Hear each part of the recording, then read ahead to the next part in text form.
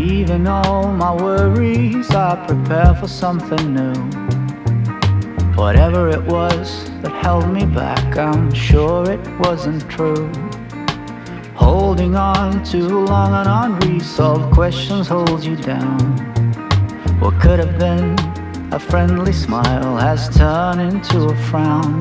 I'm moving on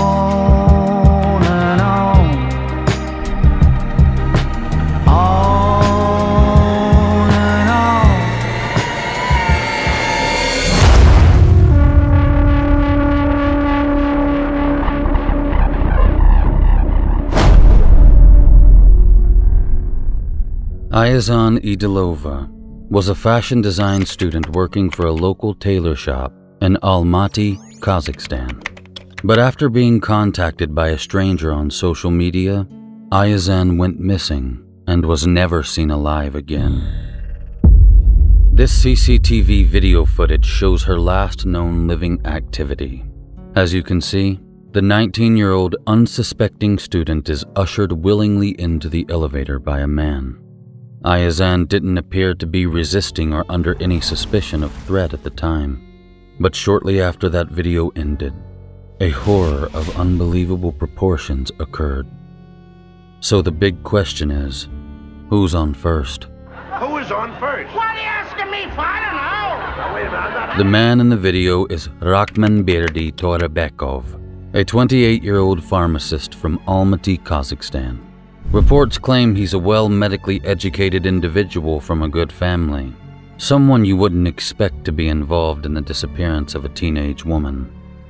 Well, spoiler alert, he was. And what you're about to learn is devastating. Prepare yourself. The following details will stick to you in an unwanted and uncomfortable way. I'm Mr. Black, and this is The Disturbing Truth Quick Case, Episode 1 Leading the Lamb. Ayazhan Edilova was gearing up to spend the evening with her boyfriend. But first, she needed to go meet a man who had been in contact with her online in regards to being measured for a suit. There's no hiding the obvious. That man was Rakhmanberdi Torebekov, and the 19 year old student went to meet him. When Ayazhan didn't come home, her worried boyfriend reported her missing and then clued police onto the messages exchanged between his girlfriend and the pharmacist. Two days after the CCTV footage recorded Ayazhan and Rakhmanberdi getting into the elevator, cops arrived at the apartment block looking to question the 28 year old man about the missing woman. But no matter how much they knocked, Rakhmanberdi refused to open the door. So police had no choice but to break it down and enter the apartment by force. But what they found inside was a full nightmare in mid flight. As authorities burst through the door, Rakhmanberdi cut his own throat. First aid was quickly administered on the scene, and the medically trained pharmacist was rushed to the hospital for life saving treatment.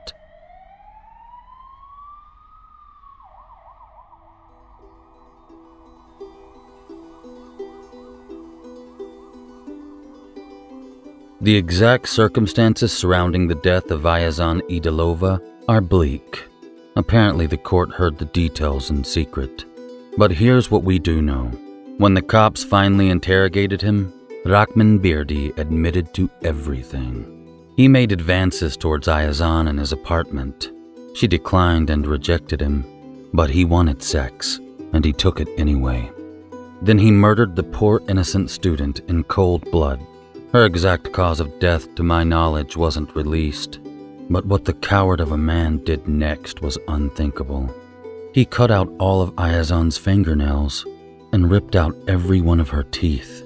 When the cops photographed the evidence, every single fingernail and each of the torn out teeth had been placed in its own individual plastic bags. Rakhmanberdi was trying to cover his tracks, and in the process of doing so, he also cut off the student's head and boiled it in a pot. It was reportedly still simmering on the stove when the police entered his residence. Rakhmanberdi also dismembered the young woman and spread her remains all across the city in different trash cans. The victim's family were devastated, obviously, and they labeled the pharmacist as an evil maniac. Rakhmanberdi was found guilty by way of confession and sentenced to 25 years in prison, as well as being ordered to pay the family of his victim around $46,000. It apparently took him 24 hours to do what he did to Ayazhan, and no matter how hard I tried, I couldn't find a single picture of the cowardly monster. His face is even blurred in the CCTV footage.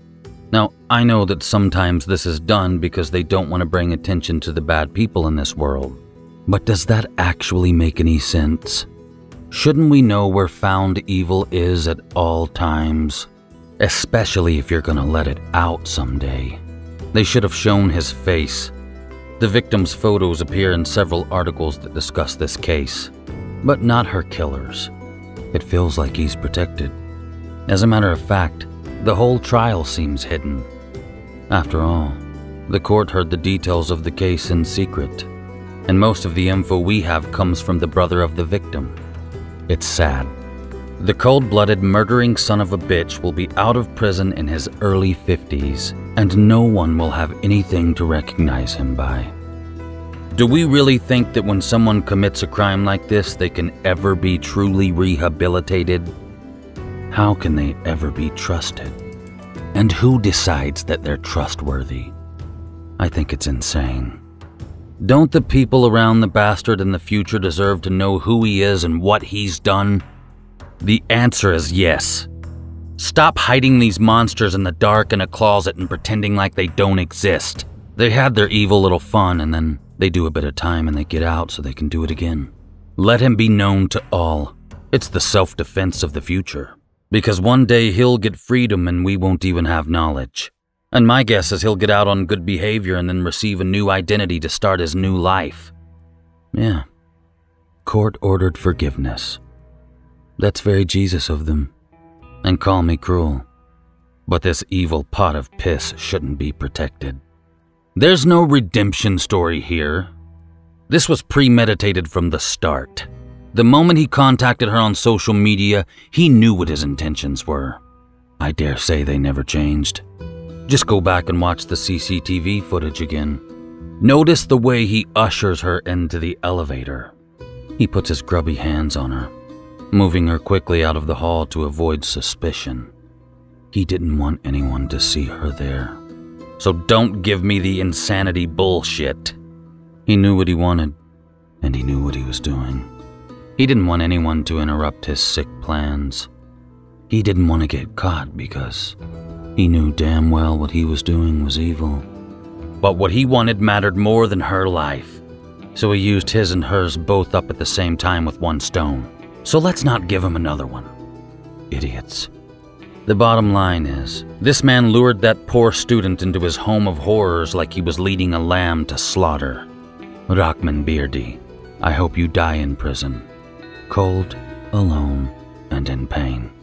You deserve absolute hell for what you did, and I'm positive it will find you. Rest in peace, Ayazhan Edilova. My thoughts are with her family and friends. I'm Mr. Black, and this is the disturbing truth. Quick case.